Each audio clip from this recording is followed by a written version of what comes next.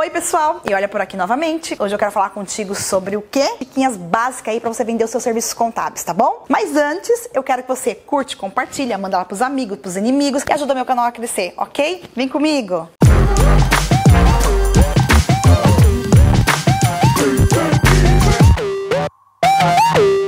Pessoal, como eu disse anteriormente, eu quero te falar o seguinte: duas dicas aí essenciais para você vender os seus serviços contábeis. A primeira dica é: tem embalagem no seu serviço. Coloca uma embalagem bacana, uma embalagem bonitinha e entrega. Marta, mas como assim embalagem? É embalagem. Sabe serviço fiscal, contábil, de folha, DP, legalização? Cria uma embalagem. Cria uma embalagem muito bonitinha para ele, de uma forma que como cada serviço desse ajuda o teu cliente final. Você sabe, contador, o que, que o fiscal faz de impacto impacto na vida do seu cliente? O que, que o DP causa de impacto na vida do seu cliente? O que, que a legalização causa de impacto na vida do seu cliente? O que, que a contabilidade causa de impacto na vida do seu cliente? Cria uma embalagem, mostra para o seu cliente, para o seu futuro cliente, como que isso pode mudar a trajetória dele, como que isso pode mudar a vida dele. Pode ter certeza que muita gente não está fazendo isso e quem está fazendo está dando super, super certo. Então, assim, você tem que colocar uma embalagem no seu produto e falar aquilo que o seu cliente, o seu futuro cliente quer ouvir. Falando o quê? Dor e desejo. Eu sempre bato bato isso nos meus vídeos, certo? E a segunda dica é, quando você for montar uma proposta de serviços contábeis, você monta uma proposta falando dele, não sobre você. Sobre você você coloca lá no final. Faça uma proposta irresistível. Então assim,